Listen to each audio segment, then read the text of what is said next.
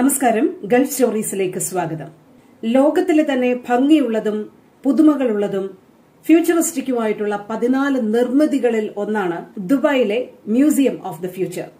ഇക്കഴിഞ്ഞ ഫെബ്രുവരി ഇരുപത്തിരണ്ടിനാണ് ഏഴ് നിലകളുള്ള ഈ കാഴ്ച വിസ്മയം ജനങ്ങൾക്കായി തുറന്നുകൊടുത്തത് അന്ന് തൊട്ട് നമ്മൾ ഈ സംസാരിക്കുന്ന ഇന്ന് വരെ നിരവധി സന്ദർശകരെ അട്രാക്ട് ചെയ്തുകൊണ്ടാണ് ദുബായ് മ്യൂസിയം ഇപ്പോൾ നിൽക്കുന്നത്. ഇത് ദുബായിയുടെ യു എയുടെ ഒരു അഭിമാന മുദ്രയാണ് എന്നുള്ളതിൽ യാതൊരു തർക്കവുമില്ല.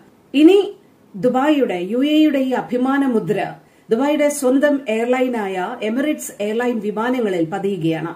ഈ മുദ്രയും വഹിച്ചുകൊണ്ടാവും ഇനി എമിറേറ്റ്സിന്റെ എ ത്രീ ഐ ടി വിമാനങ്ങൾ ലോകസഞ്ചാരം നടത്തുക എന്നുള്ളതാണ് നമ്മൾ ഇന്ന് ആദ്യം പരാമർശിക്കുന്ന വാർത്തകളിലൊന്ന്. ഈ മ്യൂസിയത്തിന് കൂടുതൽ ലോകശ്രദ്ധ കൊടുക്കുക തുടങ്ങിയ നിരവധി ഉദ്ദേശങ്ങളുമായിട്ടാണ് എമിറേറ്റ്സ് ഈ ദൌത്യം ഏറ്റെടുക്കുന്നത്. വിമാനത്തിന്റെ രണ്ട് സൈഡുകളിലും മ്യൂസിയത്തിന്റെ ചിത്രം ഉണ്ടാവും. ഇന്നിപ്പോൾ ലോസ് ഏഞ്ചൽസിലേക്കാണ് എമിറേറ്റ്സിന്റെ എ ത്രീ ഐ ടി വിമാനം ഈ മുദ്രയും വഹിച്ചുകൊണ്ട് അതിന്റെ ആദ്യ സഞ്ചാരം നടത്തിയത്.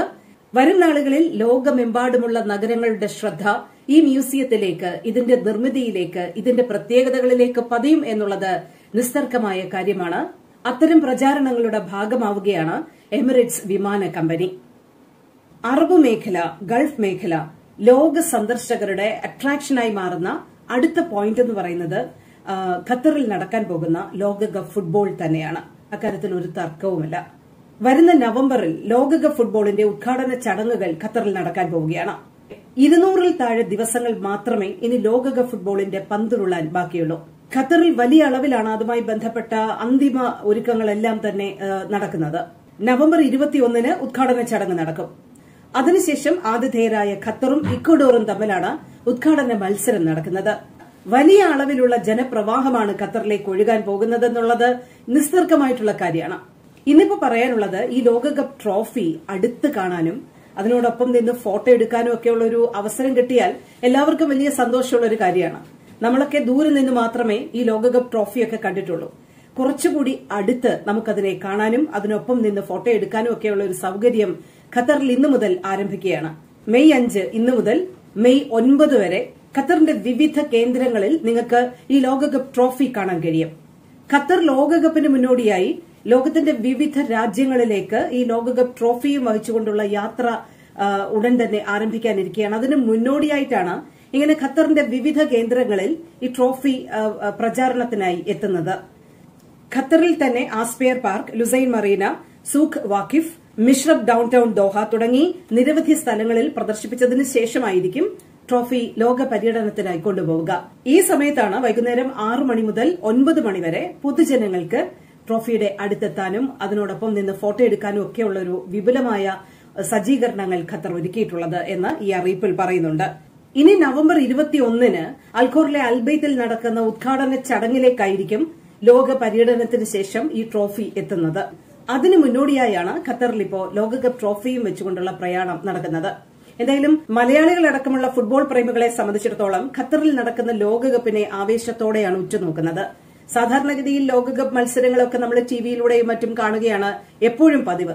ഇത് ഇത് വളരെ അനായാസം നമുക്ക് എത്തിപ്പെടാനുള്ള ഒരു കേന്ദ്രത്തിൽ ലോക ഫുട്ബോളിന്റെ ഈ മഹാമേള നടക്കുമ്പോൾ കൂടുതൽ മലയാളികൾ കൂടുതൽ പ്രവാസികൾ കൂടുതൽ ഫുട്ബോൾ പ്രേമികൾ ഖത്തറിലേക്ക് ഒഴുകിയെത്തുക തന്നെ ചെയ്യും എന്നാണ് റിപ്പോർട്ടുകളൊക്കെ തന്നെ സൂചിപ്പിക്കുന്നത്. എന്തായാലും ദിവസങ്ങൾ എണ്ണി നമുക്ക് കാത്തിരിക്കാം ഖത്തർ ലോകകപ്പിന്റെ പന്തുരുളുന്ന ദിനങ്ങൾക്കായി.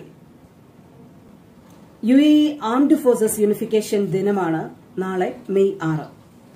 ദിനാചരണത്തിന് മുന്നോടിയായി U A president his highness Sheikh Khalifa bin Zayed Al Nahyan അടക്കമുള്ള ഭരണ നേതാക്കൾ പ്രത്യേക ആശംസാ സന്ദേശങ്ങൾ നൽകുന്നു. ഈ ദിനം യു എ എന്നുള്ള രാജ്യത്തിന്റെ മുന്നോട്ടുള്ള പ്രയാണത്തെ സംബന്ധിച്ചിടത്തോളം വലിയ നാഴികക്കല്ലായിരുന്നു എന്ന് his highness Sheikh Khalifa bin Zayed Al Nahyan ഓർക്കുന്നു. രാജ്യത്തിന്റെ മൂല്യങ്ങളും ദേശബോധവും സ്ഥിരതയും സ്വാതന്ത്ര്യവും പരമാധികാരവും എല്ലാം ഉയർത്തിപ്പിടിക്കുന്നതിൽ വളരെ നിർണായകമായ ദിനമായിരുന്നു May ആറെന്ന് his highness Sheikh Khalifa bin Zayed Al Nahyan കുറിക്കുന്നു. യു എ ഇ എമിറേറ്റുകളിലെ താപനിലയിൽ ക്രമാനുഗതമായ വർധന അനുഭവപ്പെട്ട ദിവസമായിരുന്നു ഇന്ന്. നാൽപ്പത്തിനാല് ഡിഗ്രി സെൽഷ്യസ് വരെ ചില ഉൾപ്രദേശങ്ങളിലൊക്കെ താപനില ഇന്ന് രേഖപ്പെടുത്തുകയുണ്ടായി. പൊടിനിറഞ്ഞ അന്തരീക്ഷം തന്നെയാണ് രാജ്യത്ത് ഇന്നും അനുഭവപ്പെട്ടത്. പൊടിക്കാറ്റിനും സാധ്യതയുണ്ട് വരും ദിവസങ്ങളിലും.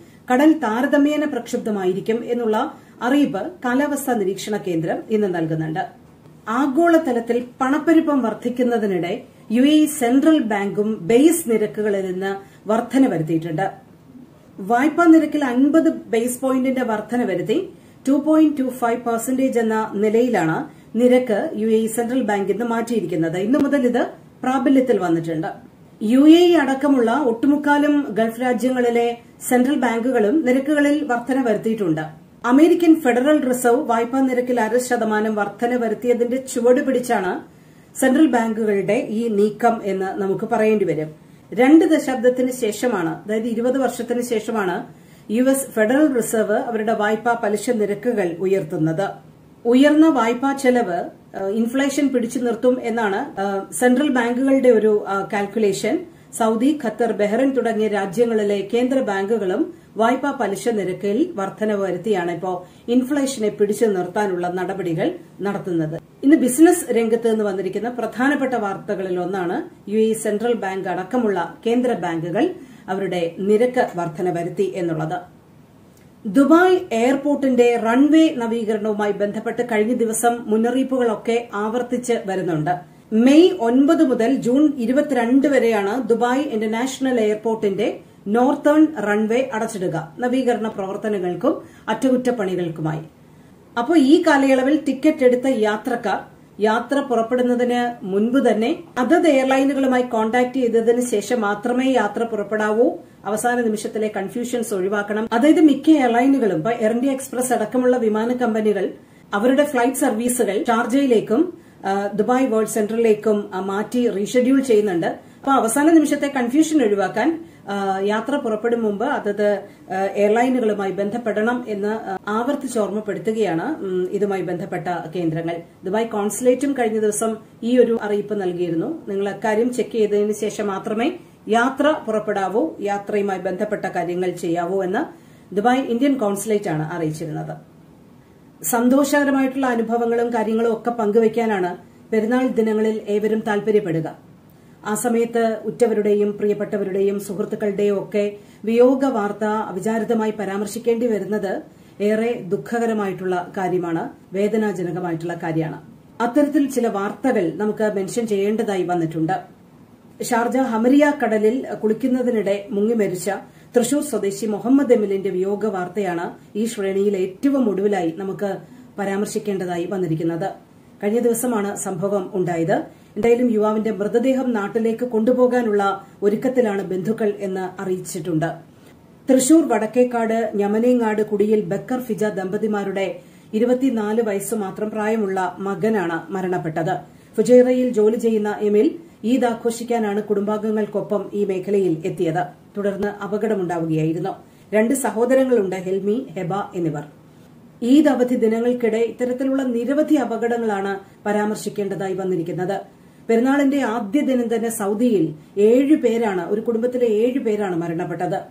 ഖത്തറിൽ മിസൈദിൽ കഴിഞ്ഞ ദിവസമുണ്ടായ വാഹനാപകടത്തിൽ മൂന്ന് മലയാളികൾ മരിച്ച വാർത്തയും വന്നിട്ടുണ്ട്. ആലപ്പുഴ മാവേലിക്കര സ്വദേശി സജിത്ത് മങ്ങാട് പൊന്നാനി മാറഞ്ചേരി പുറങ്ങുകുണ്ടുകടവ് കളത്തിൽപ്പടിയിൽ റസാഖ് മലപ്പുറം കീഴുപ്പറമ്പ് മാരാർകുളങ്ങര ഈയക്കാട്ടിൽ എം കെ ഷമീം എന്നീ മൂന്ന് മലയാളികളാണ് ഖത്തറിൽ വാഹനാപകടത്തിൽ മരണമടഞ്ഞത്.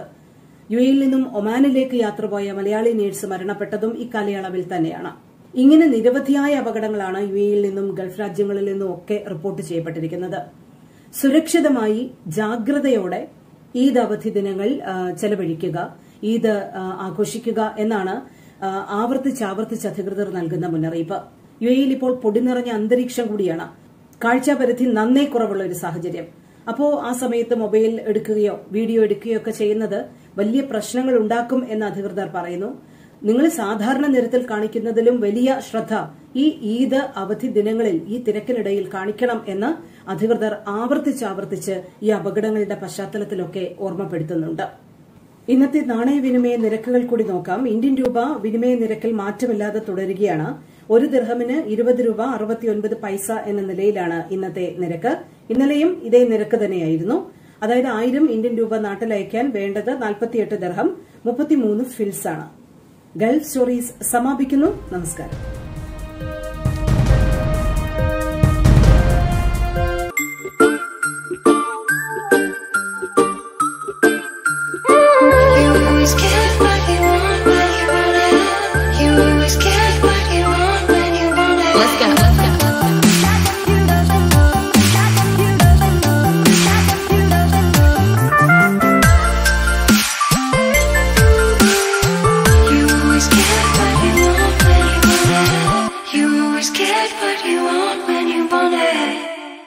Isonic 4 in 1 blender. Isonic, innovating everything.